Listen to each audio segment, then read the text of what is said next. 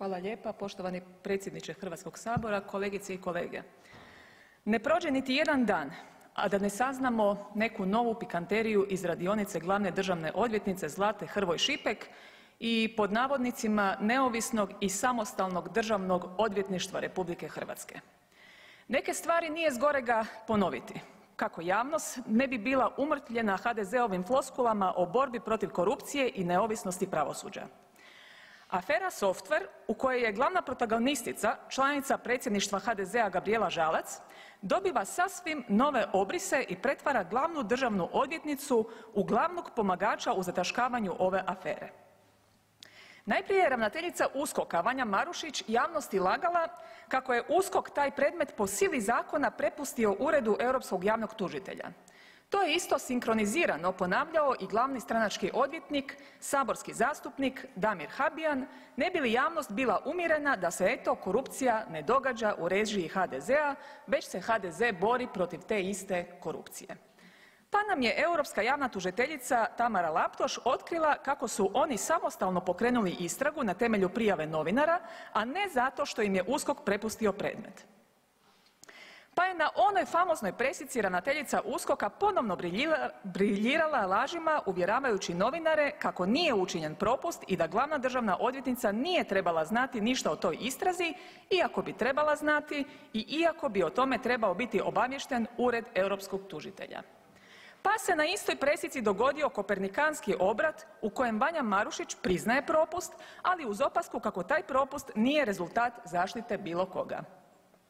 Pa glavna državna odvjetnica pak pokreće nadzor, ali ne može naći spis jer je original poslan u Luksemburg, a kopija nije napravljena. Pa ovdje u saboru glavna državna odvjetnica kaže kako nije znala za istragu, pa je malo znala, ali nije vidjela spis, pa konačno novinari otkrivaju kako je u sve bila upućena na brifingu u državnom odvjetništvu i to u lipnju 2020. godine. Tajming je vrlo bitan, rekao bi premijer. Naime, krajem svibnja 2020. uhićena je još jedna od HDZ-ovih koruptivnih vedeta Josipa Rimac. Bio je to potencijalno loš tajming pred izbore, ali Josipa Rimac ionako nije bila u milosti Andreja Plenkovića koji je se time uspio riješiti, a i mogao je pretpostaviti odnosno predstaviti javnosti kako se HDZ žustro bori protiv korupcije zahvaljujući njegovim istančanim radarima.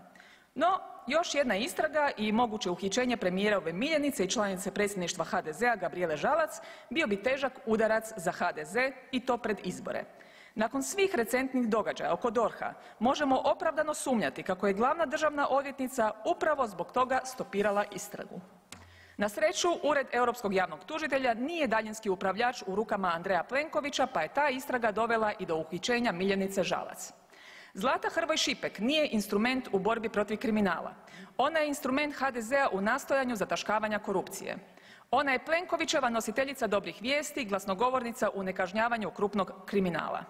Žalosno je bilo gledati kako prilikom podnošenja izvješća glavna državna odvjetnica gubi koncentraciju već na početku saborske sjednice, a opasno je gledati kada koncentraciju ne gubi u zataškavanju HDZ-ovih koruptivnih perjanica. Sada je jasnije zašto je Andrej Plenković prije izbora u Saboru Zlatu Hrvoj Šipek primio u Banske dvore. Očito da joj pobliže objasni što se od nje očekuje. Zlata Hrvoj Šipek slučajno se našla na ovom mjestu. Ona je samo telegrafistica u službi HDZ-ove okupacije zemlje. Zadnji događaji oko DORH-a pokazuju u realnom vremenu što je Hrvatska u rukama HDZ-a. Njihov ratni plijen, njihova zlatna koka i industrija korupcije. Jasno je zašto Plenković toliko štiti Zlatu Hrvoj Šipek čak i onda kada se ispostavilo da glavna državna odvjetnica ne zna ni prikriti svoj kriminalno loš rad. Zato jer Plenković štiti sebe.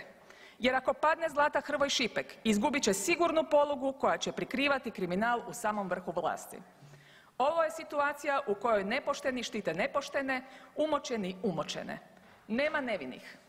Sad je samo pitanje na koji će način poteze vući Andrej Plenković, mastermind operacije zataškavanja korupcije. Glavna državna odvjetnica i ravnateljica USKOK-a ionako su samo marionete u njegovim rukama.